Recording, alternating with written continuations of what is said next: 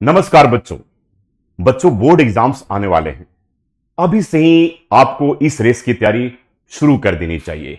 इस बार तो आपको पता है कि सीबीएसई बोर्ड का पैटर्न भी चेंज हो गया है। तो टॉप अगर आप करना चाहते हैं तो आपको आज ही जुड़ना है, यानी कहाँ पर? विद्याकुल के साथ। और आपको अपने बेहतरीन तैयारी शुरू कर देनी है। Click here to join